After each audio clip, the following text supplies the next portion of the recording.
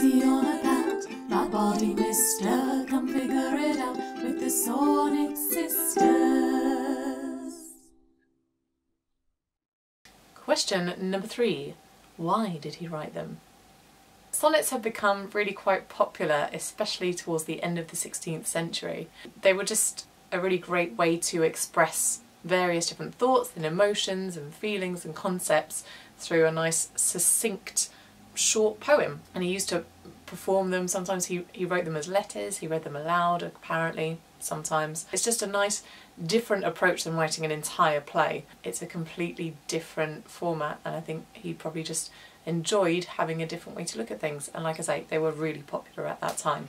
Sort of maybe a bit like Snapchat of the day the Elizabethan Snapchat. Question four. Along with why did he write them who did he write them for now this is a particularly interesting question and the answers have changed quite a bit over the years. There are two different subjects that he refers to in his sonnets. One is the young man and he is referred to in sonnets 1 to 126 and the second is the dark lady uh, and she's referred to in sonnets 127 up to 154 or 156 depending on your opinion. Some say that all the rest of the sonnets from 127 onwards to the end are all about the Dark Lady. But some other people do say that the last two sonnets seem to be completely irrelevant to the rest of the sonnet sequence and have a very different tone to them.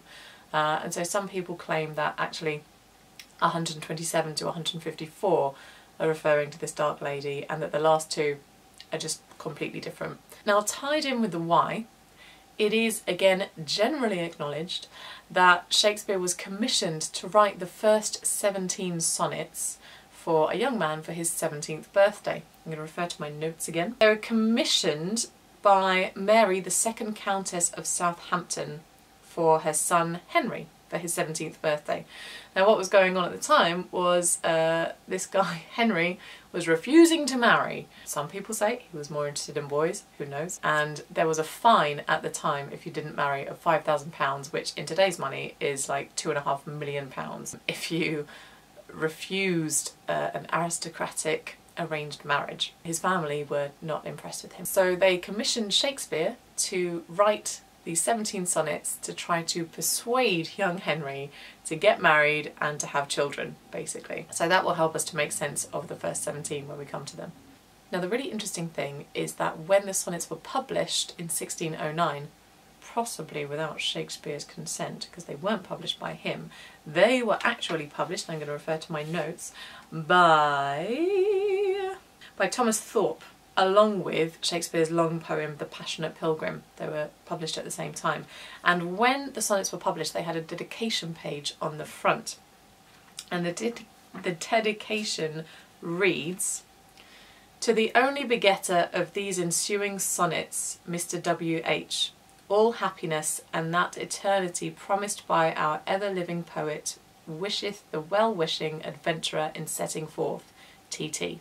That's Thomas Thorpe there were all kinds of speculations for years about who this W.H. was and it was assumed that W.H. was the young man that Shakespeare refers to in these sonnets that he seems to have quite an intense romantic relationship with and it was assumed it would be um, uh, William Herbert, the Earl of Pembroke, who also has been said to be the one who the sonnets were commissioned for, so I, am a little bit hazy on that, I'll be honest. Recently, just in 2015, there was an article in The Guardian about some new evidence that has come up about who this WH probably was.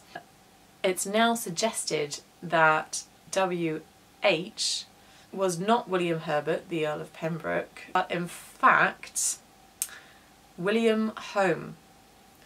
And William Holme was an associate of Thomas Thorpe, who published the, the poems in 1609, who had died just a couple of years before they were published.